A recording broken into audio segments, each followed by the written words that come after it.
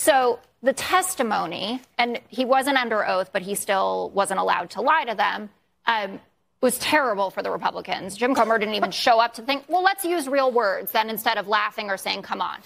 He was asked if someone concluded from the 1023 form that you all think is so important that Joe Biden was bribed, would you disagree with that? Yeah, I would. Devon Archer said that. What does he know about that? Yeah. How well, then he, then he doesn't matter. Then Devon Archer is either the no. crux of the puzzle that shows that this is a mob family, or he doesn't matter. No, it he matters said when that he's Victor... in the middle of it. If he's in the middle of a dinner, then it matters. If it's something that he's not there, then it doesn't matter. Okay. Victor Shokin was not good for Burisma, as I've been telling you, as has been widely reported, as the entire Why? Western world why? Because he wasn't investigating yes, the corruption. Yes, he was. No, that, he wasn't. He was seizing their cars. Well, wait a minute. Then what was he doing? What was Shokin I'm doing? I'm so glad that you're back. Okay, hold on one oh, second. oh, that's not good. did Hunter ever ask Joe to take any official actions? Devon Archer, he did not. Pretty How clear would language. Know? They, talk, they talk on the phone every day. We just watched the reason Fox News should have zero viewers. But because we live in a country where Republicans want to be coddled, they want to live in this vacuum where truth does not matter. We watched Jessica get talked over by everybody at the table and screamed at and screamed over with ridiculous statements. Oh, also the calls, which there are 20 calls um, over the course of a decade, he, he said weren't just the weather. He said they did talk about family. That was a fishing. wink and a nod. Did you see the interview? He goes, There's yeah, new- yeah. We talked about the weather. You guys will say anything. No, I have no idea. And I don't think anyone in America has any idea. And I think, think, we need to know. Can Devon Archer lay out the details there, sir? He has the ability to, and, and I sure hope that, that he takes advantage of the opportunity and does that. What is the direct link between President Joe Biden and Hunter Biden?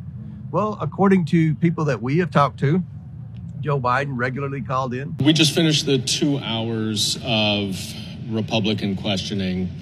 Um, and I think it is safe to say that after yet another two hours, there still is no connection of any of Hunter Biden's business dealings with President Biden. They keep saying, oh, he wouldn't know, talking about Archer. He wouldn't know, talking about he knew all of the calls being coy. But this was their key witness. And if your key witness don't know, then why is he your key witness? Also, if your key witness don't know what he's supposed to know, the reason you all been saying Biden was lying, if he don't know, do you even have a case? There's a new oversight menu, uh, menu memo that's out today which again does not explain what services were provided exactly. by the Biden. Exactly. They didn't have any services. Why they is he getting the money? Then what did they do? Exactly. Oh, We're asking the same oh, question. No, no, they There's wouldn't. no. They, They wouldn't fired have the our prosecutor. Tax, and they We got the Chinese taxpayer kid into money. school. Of course, you don't have a case. There's not been a case. This is all about deflection from what's happening with Donald Trump. This entire Hunter Biden, Joe Biden's case is ridiculous. And the reason we know it's ridiculous is because we didn't learn about this under the Biden's administration. This investigation was happening under Donald Trump's administration. That's right. Not liberals. Donald Trump's administration chose not to charge Donald Trump's Department of Justice, not Joe Biden's. And you all are pretending that somehow this is some kind of liberal cover up where Joe Biden had a prosecutor fired when we know we've already heard that the prosecutor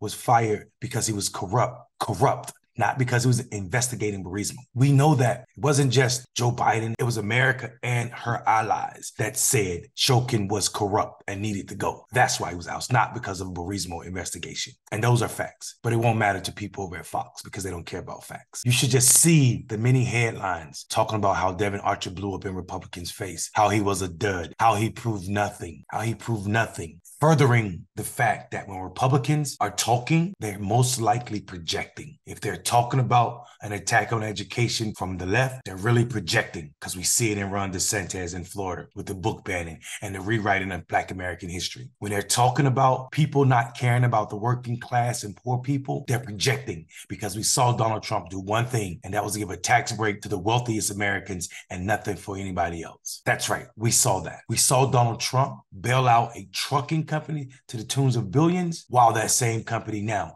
is laying off hundreds of drivers. When Republicans are talking about patriotism, we know they don't have it. We watch them beat cops on January the 6th. We watched them attack the seat of our democracy on January the 6th. So when Republicans are opening their mouths, they're probably projecting. That is exactly what's happening in this case. Jessica sits at this table with a mouthful of facts while everybody screams and rants like kids because they have nothing to say. But it doesn't matter. Their network, Fox so-called news network is steady rising because Republicans just want to hear the BS on from their side. I'm Mondale Robinson. Fall in love with the truth for the sake of our democracy. Have a good evening. Good night before you think about it.